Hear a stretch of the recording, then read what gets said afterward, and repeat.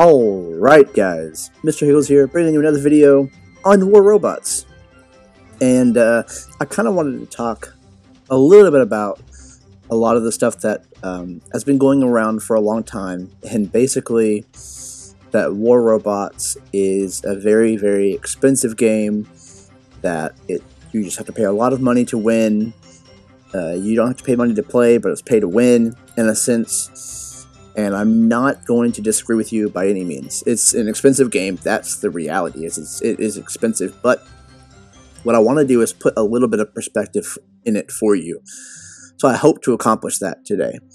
Um, so we're here at the screen, uh, the storage screen, and uh, you can see all the components that I have here, and um, only halfway to that hoverbot makes me sad. But um, so I have uh, the things here. So these are the new weapons that just came out. You have the Redeemer and you have the Gust. So let's click on this bot right now. So that's $99. Uh, well, it's 100, essentially $100 to get 7,000 components. Um, and then you could do 20, which would put it at, uh, was 8,300. And you could buy another 20. That puts you at 9,600. And then you could, hey, that's what, 140, like 100 fifty dollars. So around about 150 if you just bought it straight out to get the Redeemer, and then the Gust is only uh, nine dollars. And yes, I say only. So that is uh, rather pricey, rather expensive, and especially if you come over here to the most expensive robot in this game at this current moment is the Inquisitor. And it costs roughly uh, $300 in uh, America to get that and then the dash bots I think are basically the same or about about 250 or so. Um, that's really really really pricey when you think about it. I mean that's a lot of money. Uh, and then if you come out here, so we got the gold screen here. Yeah, well, not the you know buy gold, however much there it is for you guys in your country, but for me, these are my prices. You've got uh, five for four ninety nine, five hundred, twelve hundred for nine ninety nine, you know, and so on and so forth.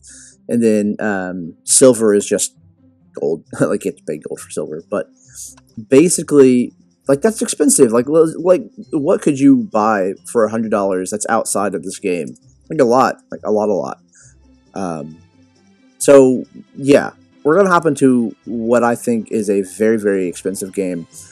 Um, far more so than this game. I'm gonna have to give you a little bit of backstory not backstory, but information on it to kind of explain how. So let's hop over to that right now. Okay, so we're in this game. This game, if you are not familiar with it, is Dragon Ball Dokkan Battle or Dragon Ball Z Dokkan Battle. So I would venture to say this game is far more expensive than than War Robots is, and um, I'm going to explain how that kind of is in a little bit and why War Robots even though you think it's expensive, and it is. I agree, it's very expensive. Um, you've it, it, War Robots is a thousand times better than this game. Um, even though I'm not going to paint this game in a, a, a, good light as far as money's concerned, um, I've I love this game. Like I love Dragon Ball Z type stuff, Dragon Ball Super, and all that kind of stuff. So um, I really do love this game. But one of the reasons why this game is so expensive is because to get new characters um, to get good new characters because you can do events. Um, so, like if we hop into the event page and um, it'll load up. So, let's find something that. Okay, so this stage right here in the event. In the stage one, it drops, as you can see, the reward is a STR um, Majin Buu Gohan Absorbed. I don't know if that means anything to you guys, but basically it drops that character for free. All you have to do is play the stage and you get that character for free. That character is not good. Uh, he's just not. Any of the good characters you get from clicking on the summoning button, and you get them from here. Now, to do a multi summon, it takes 50 stones or 50 dragon stones. Um, basically, there is a finite amount of dragon stones in this game. So that means, now they do give them out to you every couple of days, uh, but basically, what that means is after you play for so long, you either wait a very long time to accumulate enough stones to summon, or you pay for stones. There's no other way around it. You either wait slowly for more stones after you've gotten all the stones that you can get, or you buy them. That's that's how it is. So to get stones in the first place, you can this little little thing above this quest, little arrows. So you hit that, it pops over to quest or event, and uh, basically you get stones by doing all these all these areas. Now I can go all the way to area one down here, and there's what like five stages in here. Yeah, five stages in area one. So you see these little stars here. Uh, that's a difficulty ranking. So I've cleared normal, I've cleared hard, and I've cleared Z hard. And I've done that for every stage and every area, and these get even harder, like they're hard, Z hard, and super. Um, I've done that for every area, and that gives you, I'm not exactly sure, but it gives you, or I would say around seven, 800 stones, because you get certain, like, mission completions for doing everything on Z hard, everything on hard, or whatever. So that gives you around 800, maybe a thousand stones. That might be a bit much, but. And then all these events here that you see, you get one stone for the first completion of every difficulty on each one of these stages. So let's say the game gives you 1200 stones for free. Just all that. Okay? So you come over to banners like this where you think, well, that's 1200 free stones that you can just get by playing the game. Okay, so let's look at this banner right here. So the new Ultra Instinct Goku is, is the new summon. Um, look on the scouter here. The scouter tells you what's in this banner. These are, at the top left you see new, you see Dokkan exclusive. That means that this character can only be summoned on a Dokkan exclusive festival or Dokkan festival banner. That means even on other banners that are here, like, um, let's say, because there's a lot of ticket stuff, like this banner right here, I cannot get that card on this banner. I've got to go and summon um, either on this one for the single, which is 5 stones, which is one character, or the multi, which you get 10 characters for 50 stones. So if you go over here and click on the scouter, it'll show you everything that's featured here. So you got Goku, you've got Gogeta, you've got these characters basically are all featured.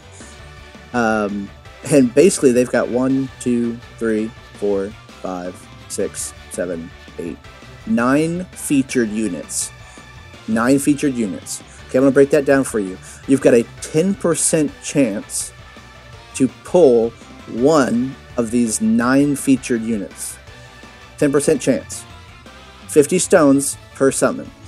Okay, now you can see how those odds are dwindling pretty quick to get this guy. Now, if you click over here to the character list, you can see all the characters that are in this list or in this banner. Everything that you can get when you put 50 stones in and you pull on the banner, that means you can get any of these cards. So I'm just going to scroll down. So SSRs are the cards that are the best cards. So you can see there's already a lot more than 9. That means not only do you only have a 10% chance to pull the card you want, you also have a chance of these other SSRs popping up and you not getting the, the one that you would like to have let alone any of the ones that are featured. These are not what they call non-featured units. So you could potentially pull some of these cards instead of those cards.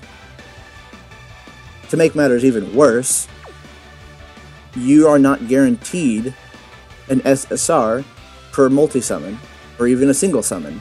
I've done plenty of multi-summons where I've gotten no SSRs.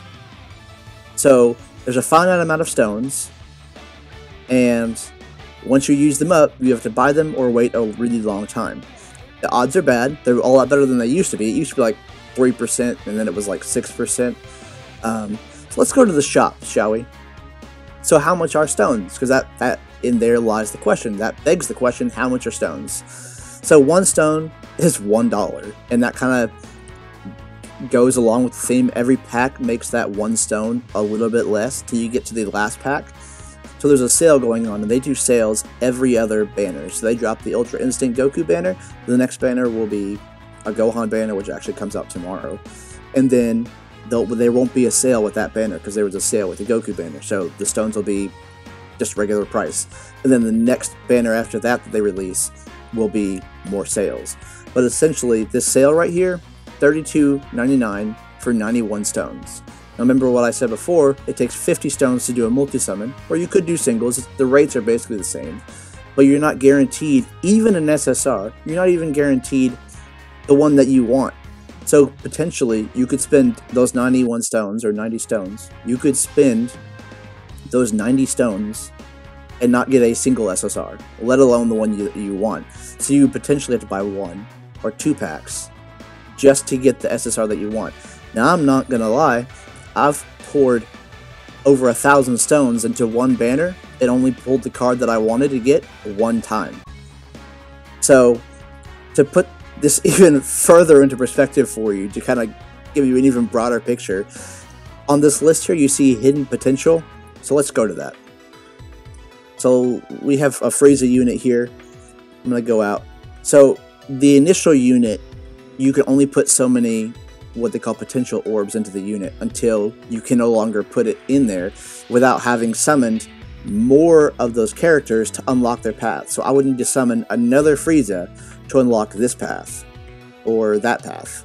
So a total, you would need a total of five characters, the initial one plus four more, to open up all its paths to make it the strongest it could possibly be. Essentially using silver and stuff like in War Robots. So if you just think about that, how many stones, how lucky would you have to be to be able to pull that many cards of that one unit? Now, thankfully, a lot of the units come back uh, on certain banners, like this banner down here, um, this Gotenks banner.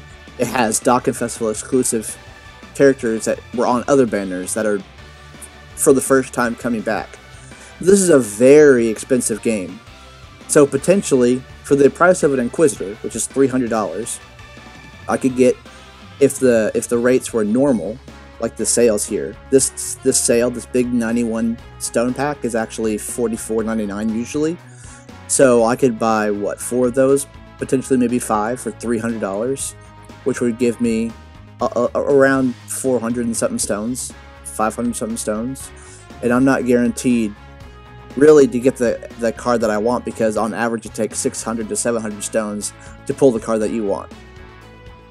So, in conclusion, because I know it's it's been kind of a long video and it takes a lot to to explain, but War Robots is expensive, but at least you're guaranteed the the robot that you get. If you pay three hundred dollars for an Inquisitor, you've got that Inquisitor for forever. Like it's not going away. Now, the same at the same time, these units uh, once you get them, you have them, obviously. But I might pay 300 400 500 dollars just to get one unit, and or three, four, five hundred dollars, and not even get the unit, and then just walk away with nothing. That being said, I've gotten really, really lucky. Um, pull up this guy here. This guy is an LR, the rarest, the rarest type in the game. Um, and he's got some really cool art too. It's one of the reasons why I love this game. I love the art.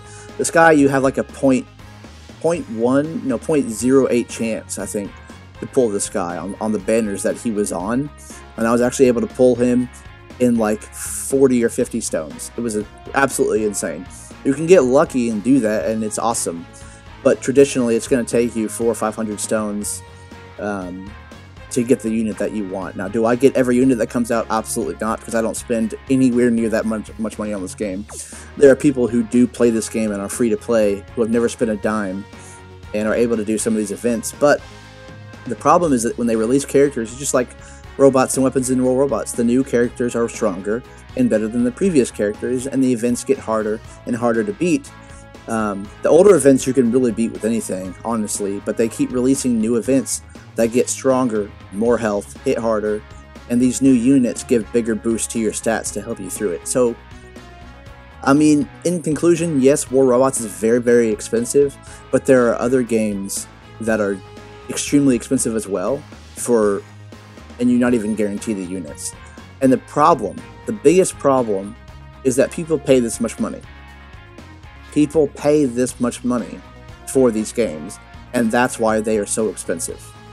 Because people buy, people have bought it, people continue to buy it, and so game companies are going to continue to release this much stuff with this price tag until something changes. So, I mean, I just wanted to put some stuff into perspective for you guys. I hope I did that. I hope you enjoyed the video. Um, hope you learned a little something at the very least. Uh, but I do agree, all of this stuff is far too expensive. It's ridiculous. But I'll take my guaranteed robots. And and you know the great thing about War Robots is that every battle you can win keys to get components, to spin free chests, to get components to get your robots faster. So I mean, it's a lot better than, than this game, even though this game's come a long way than what it was before. But anyways, guys, thanks for checking out the video. I really appreciate it. And until next time, Take care.